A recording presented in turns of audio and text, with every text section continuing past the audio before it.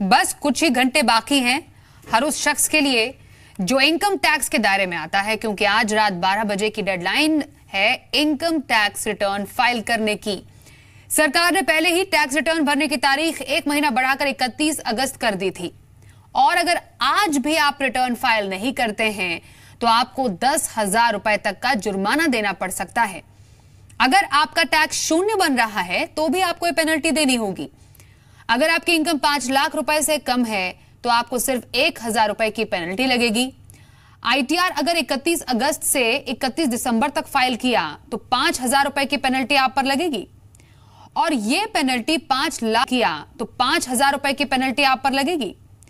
और यह पेनल्टी पाँच लाख रुपए से ज़्यादा के आय वालों के लिए है। अगर कोई इकतीस दिसंबर की डेडलाइन भी मिस कर दे तो उसे दस हज़ार रुपए जुर्माना देना पड़ेगा।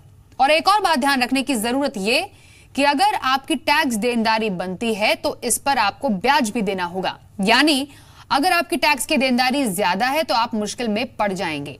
वैसे अगर आपने अभी तक रिटर्न फ़ाइल नहीं किया है तो घर बैठे इंटरनेट के ज़रिए भी आप ये आसानी से कर सकते हैं।